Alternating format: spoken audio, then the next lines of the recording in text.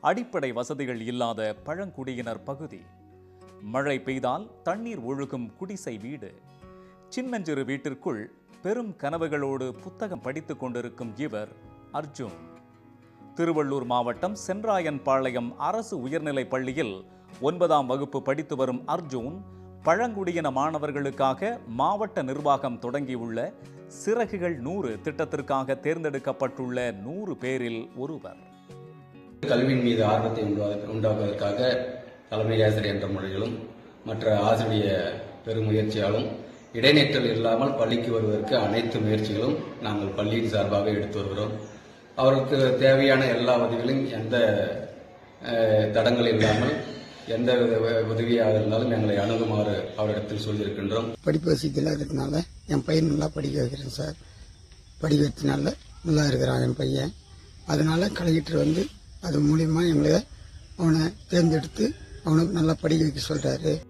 கல்வி விழிப்புணர்வு இல்லாமை வறுமை உள்ளிட்டவையே திருவள்ளூர் மாவட்டத்தில் ஒன்பது முதல் பதினோரு வகுப்பு வரையிலான பழங்குடியின மாணவர்கள் இடைநிற்க காரணம் என தெரிய வந்துள்ளது விழிப்புணர்வை ஏற்படுத்த திருவள்ளூர் மாவட்ட ஆட்சியர் ஆல்பி ஜான் வர்கீஸ் சிறகுகள் நூறு என்ற புதிய திட்டத்தை தொடங்கி இருக்கிறார் மாவட்டம் முழுவதும் கிராமத்திற்கு ஒரு பழங்குடி மாணவர் வீதம் நூறு பேர் தேர்ந்தெடுக்கப்பட்டு உள்ளனர்.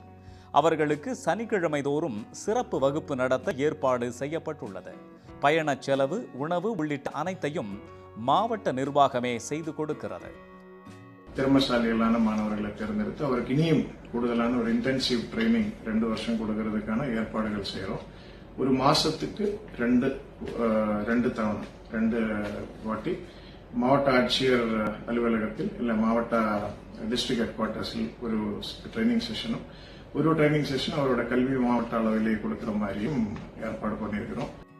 மாதந்தோறும் அரசு நிர்வாகிகள் காவல்துறை அதிகாரிகள் சட்டமன்ற உறுப்பினர்கள் மருத்துவர்கள் உள்ளிட்ட பல்துறையினருடன் பழங்குடி மாணவர்கள் கலந்துரையாடல் நடத்தப்படுகிறது. முதல் கலந்துரையாடல் மாவட்ட ஆட்சியர் ஆல்பி ஜான் வர்கீஸ் தலைமையில் நடந்தது. அவரிடம் கலந்துரையாடிய பழங்குடியின மாணவர்கள் உயர் பதவிகளை அடையும் லட்சியத்தை தங்கள் நெஞ்சில் விதைத்துக் கொண்டுள்ளனர். எங்க அப்பா மீன்பிடி தொழில் போறாரு. அதனால எங்களை படிக்க வைக்கிறாரு. கஷ்டப்படுறாரு ரொம்ப. அதனால எங்க ஊர்ல நான் மட்டும்தான் நல்லா படிக்கிற பொண்ணு. மாவட்ட ஆட்சியர் எங்களை செலக்ட் பண்ணாரு. செலக்ட் பண்ணி அவர் பெரிய பெரிய அதிகாரிகளெல்லாம் காட்டினாரு. எனக்கு என்ன ஆசைன்னா அட்வொகேட் ஆகணும்னு ஆசை. கலெக்டர் வர சொன்னார் சார். போனோம் சார் நாங்கள் படிக்கிறேன்னு கேட்டாங்க சார். உனக்கு என்ன ஆசை இருக்குதுன்னு கேட்டாங்க சார்.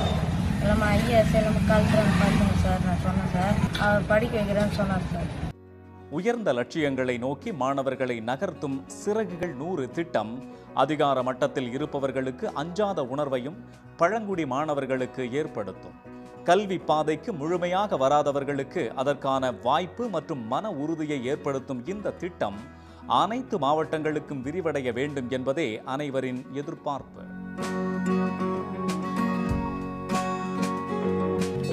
சன் செய்திகளுக்காக திருவள்ளூர் செய்தியாளர் லோகநாதன். உடனுக்குடன் செய்திகளை தெரிந்து கொள்ள சன் நியூஸ் பெல் ஐகானை கிளிக் பண்ணுங்க.